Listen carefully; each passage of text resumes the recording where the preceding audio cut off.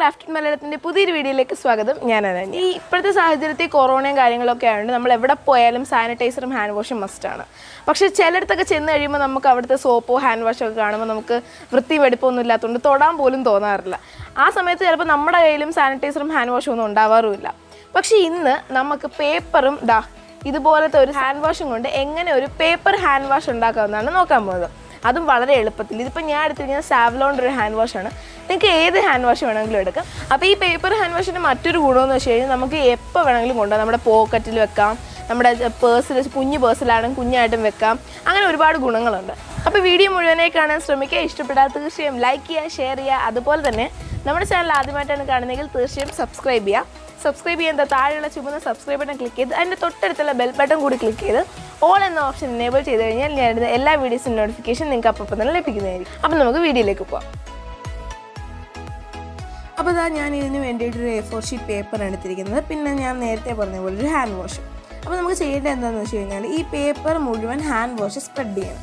അതിനിങ്ങനെ hand wash പേപ്പറിനകത്തോട്ട് ഇങ്ങനെ drop ഡ്രോപ്പുകളായിട്ട് ഒഴിച്ചിട്ട് ഇതിങ്ങനെ വിരലും കൊണ്ട് നന്നായിട്ട് സ്പ്രെഡ് ചെയ്ത് കൊടുക്കണം.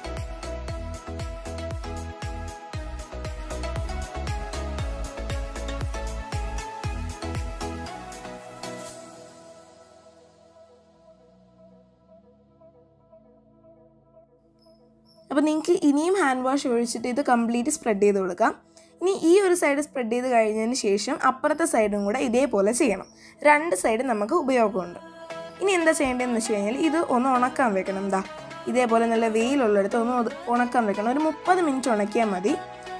പിന്നെ ഒരു പതിനഞ്ച് മിനിറ്റ് ഒക്കെ കഴിയുമ്പോൾ ഇതേപോലെ ഒന്ന് തിരിച്ചും കൊണ്ടിടണം രണ്ട് സൈഡും കറക്റ്റായിട്ട് ഉണങ്ങണം. മുപ്പത് മിനിറ്റ് കഴിഞ്ഞപ്പോൾ ഞാൻ വെയിലത്ത് നിന്ന് പേപ്പർ എടുത്തിട്ടുണ്ട്. ഇനി അത് നമ്മളുടെ ഇഷ്ടപ്പെട്ട അളവിൽ കട്ട് ചെയ്തെടുക്കാം. നമ്മുടെ പേഴ്സിൽ കയറുന്നത് അല്ലെങ്കിൽ നമ്മുടെ പോക്കറ്റിൽ കയറുന്ന അളവിൽ നമുക്കിത് കട്ട് ചെയ്തെടുക്കാം. ഇപ്പം ഞാൻ എന്താണ്ട് ഒന്ന് രണ്ട് പേപ്പറും കൂടെ ചെയ്തതാ ഇങ്ങനെ കട്ട് ചെയ്തെടുത്തിട്ടുണ്ട്. ഇപ്പോൾ ഇത് കുറച്ച് വലിയ പേപ്പറാണ് അപ്പോൾ നമുക്കിത് എന്താ ചെയ്യേണ്ടതെന്ന് വെച്ച് കഴിഞ്ഞാൽ ഇതൊന്ന് കളർ പേപ്പറിലൊന്ന് പൊതിഞ്ഞെടുക്കാം. ഇതിനൊരു കവറിങ് കൊടുക്കാം അതിനായിട്ടൊരു കളർ പേപ്പർ എടുത്തിട്ട് അതിനകത്ത് ഇങ്ങനെ പൊതിയണം.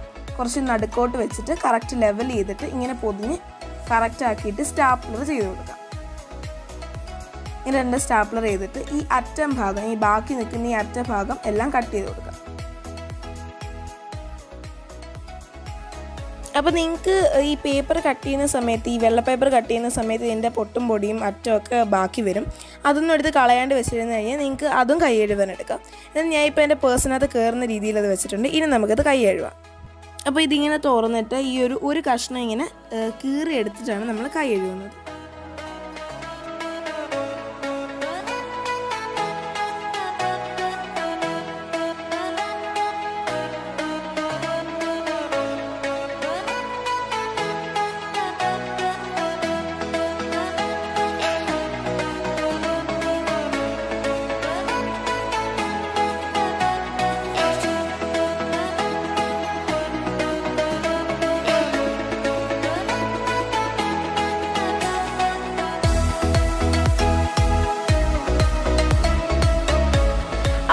ഈസി ആയിട്ട് ഇതാ പേപ്പർ ഹാൻഡ് വാഷ് ഉണ്ടാക്കിയിട്ടുണ്ട്. ഇവിടെ നമ്മൾ ടെറസിലാണ് ഈ സംഭവങ്ങളൊക്കെ ചെയ്തിരിക്കുന്നത്. അതുകൊണ്ടാണ് നമുക്ക് നല്ല കാറ്റടിക്കുന്നുണ്ട് രണ്ട് സൈഡിൽ നിന്ന് അതുകൊണ്ട് മൈക്കിൽ നിങ്ങൾക്ക് കാറ്റിന്റെ ശബ്ദം കേൾക്കാൻ പറ്റും മാത്രമല്ല നമ്മൾ ഇത് ഉണക്കം ഇവിടെ വെച്ചപ്പോൾ അത് പറന്ന് അപ്പുറത്ത് അയ്യത്ത് പോയി. നമ്മൾ പിന്നെ അത് എടുത്തുകൊണ്ട് വന്നതാണ്. അപ്പോൾ എന്തായാലും ഈ പേപ്പർ ഹാൻഡ് വാഷ് എല്ലാവർക്കും ഇഷ്ടപ്പെടുമെന്ന് വിചാരിക്കുകയാണ്. നിങ്ങൾക്ക് ഹെൽപ്ഫുൾ തോന്നുകയാണെങ്കിൽ നിങ്ങൾ തീർച്ചയായും ഉണ്ടാക്കി നോക്കുക. മാത്രമല്ല ബാക്കിയുള്ളവർക്ക് ഷെയർ ചെയ്യുക. അപ്പോൾ അടുത്തൊരു വീഡിയോയുമേ ഞാൻ ഇരുന്നവരെ ബൈ